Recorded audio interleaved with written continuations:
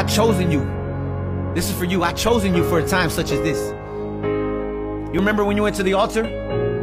You remember when you was in a jail cell, when you was in your, your living room, when you was in your car, you were driving, and you said that prayer, you said, I give you my heart, Jesus.